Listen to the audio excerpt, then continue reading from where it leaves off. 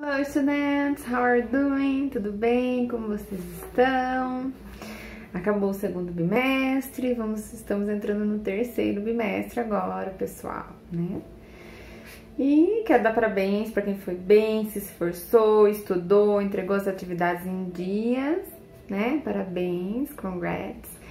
E vamos lá agora, terceiro bimestre, né? Vamos continuar se esforçando e quem foi mais ou menos no segundo, vamos tentar pegar firme nesse terceiro, tá, pessoal? Não deixe acumular as atividades, não.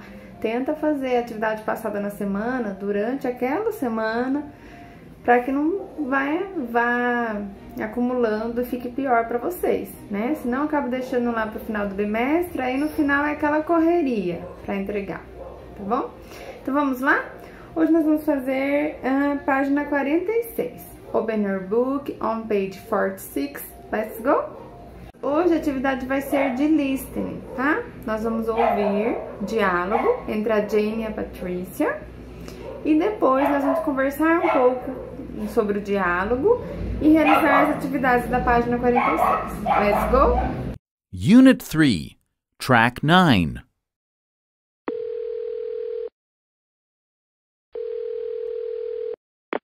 Hi, I can't take your call right now. Please leave a message. Thank you. Hi, Jane. It's Patricia. Let's set a time for our meeting. I would like to meet you next Thursday afternoon at 3 p.m. Do you agree with that? Give me a call. Bye.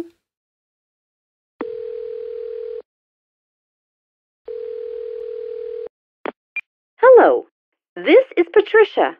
Please leave me a message. Thank you. Hey, Patricia, about the meeting. I can't on Thursday, sorry. Would we meet next Wednesday or Friday? Thank you, bye.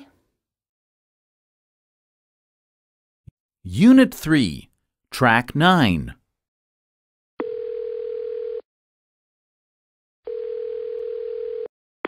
Hi, I can't take your call right now. Please leave a message. Thank you. Hi, Jane. It's Patricia. Let's set a time for our meeting. I would like to meet you next Thursday afternoon at 3 p.m. Do you agree with that? Give me a call. Bye.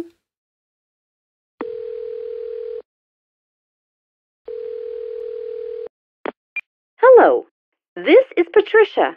Please leave me a message. Thank you. Hey, Patricia, about the meeting. I can't on Thursday, sorry. Would we meet next Wednesday or Friday? Thank you, bye. Então, o que é esse diálogo, né? A Patrícia ligou para Jane e caiu na caixa postal. Então, é, tinha aquela mensagem já gravada. Hi, I can take your call right now, né? Oi, eu não posso atendê-la agora. Please leave a message. Thank you. Por favor, deixe uma mensagem. Que é quando a gente liga e a pessoa não atende, né? E é falar daquela mensagem. Deixa a sua, é, deixa a sua mensagem na caixa postal após o sinal, né? Não é assim mesmo que acontece? Então foi o que aconteceu com a Patrícia, né? Então a Patrícia deixou aí a mensagem dela. Hi Jane, it's Patricia. Let's see a time for our meeting. Vamos ver um horário para a nossa reunião? I would like, olha o day, pessoal, que nós vimos. I would like to meet you next Thursday. Eu gostaria de encontrá-la na próxima quinta-feira. Na próxima quinta-feira à tarde, afternoon. At 3 p.m. Esse 3 p.m., pessoal, significa p.m., pós-meio-dia. Então, ela tá falando de 3 horas da tarde, tá? Do you agree with that? Você concorda com isso? Give me a call. Bye. A Jane respondeu para Patrícia. Hey, Patrícia, about the meeting. I can't on Thursday. Eu não posso na quinta-feira. Sorry, me desculpe. Would you meet next Wednesday or Friday? Nós poderíamos nos encontrar na próxima quarta-feira ou sexta-feira? Thank you. Bye bye. Tá, pessoal? Então, a Patrícia ligou falando de uma reunião, perguntou se, se ela podia na quinta-feira à tarde às 3 horas, ela disse que não, pediu desculpa e sugeriu na quarta ou na sexta-feira, né? Foi essa a resposta da Jane, então, que ela não poderia, mas que ela gostaria de estar marcando essa reunião para outra data. Ela cita aqui, next Wednesday or Friday. Então, a partir desse diálogo, de acordo com esse diálogo que nós ouvimos, que nós interpretamos, vocês vão responder a number one, a number one, number two, tá? Então, aqui, pessoal, tem language piece. Tem um quadradinho aí, ó. Tá escrito agree e disagree. O que, que significa, então? Agree, se eu digo I agree, eu concordo.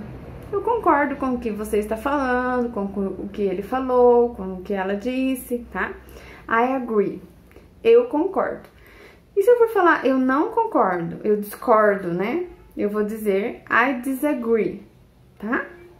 Então, no número 2, vocês têm que ler, entender o que tá falando e colocar a letra A, se for agree, concordar, ou se, se não concordar, a letra D, disagree, não concordo tá? Vamos ler a primeira aí. A Paula diz, aí no exercício número 2, tá? Da página 46. A Paula diz, we should get mom a nice birthday gift. Então, a Paula está falando aí, nós deveríamos dar para a mamãe um, um presente de aniversário bem legal, a nice birthday gift.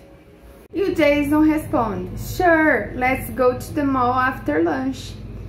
Claro, vamos para o shopping depois do almoço, né? Então ele concordou com a ideia da Paula. Sim, vamos dar um presente legal para a mamãe. Depois do almoço a gente já vai para o shopping e já vai escolher o presente dela. Né? O contexto sugere isso. Então, nessa na letra A, vocês vão colocar a letra A, que significa agree, ok? Então, a number one, pessoal, é sobre a conversa, o diálogo entre a Jane e a Patricia, tá? Number two, eu já expliquei para vocês, vocês vão colocar a, se a resposta for agree, né? Tem que ler ali e entender se a, se a pessoa está concordando com a frase de cima, tá bom?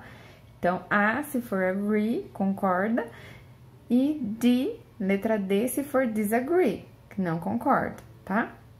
Isso falando entre as pessoas, vocês vão analisar aí. Entre a Paula e o Jason, nós já fizemos. Vocês vão ver, o John concorda com a Kate, na letra C. Daniel com a Sandra. E William com o Oscar, tá bom? Vocês vão analisar aí. E na número 3, number 3, tá falando aqui que era pra gente conversar na sala de aula, né? Mas nós vamos fazer. Então, como vai ser feita? No caderno. Vocês vão abrir aí na matéria de inglês Coloca lá em cima certinho, página 46, a data, atividade de inglês. Eu quero que vocês coloquem ali. Tem os tópicos em rosinha, vou mostrar para vocês aqui, ó. Esses tópicos aí, nesse quadrinho rosa. Então, vocês vão colocar no caderno, escrevam aí no caderno. English is to learn? Inglês é fácil de aprender? Vocês vão colocar na frente. I agree, se você concorda ou I disagree, se você discorda. Resposta é pessoal, tá? Todas essas da, da atividade número 3 são respostas pessoais. Depois, everyone is good at something. Todo mundo é bom em alguma coisa? Vai colocar na frente I agree or I disagree. Depois a terceira, there are no such things as ghosts. Essas eu vou deixar para vocês procurarem o significado, tá? E na frente coloca I agree or I disagree. E the last one, what goes around comes around. Também vou deixar essa para vocês pesquisarem o significado, tá?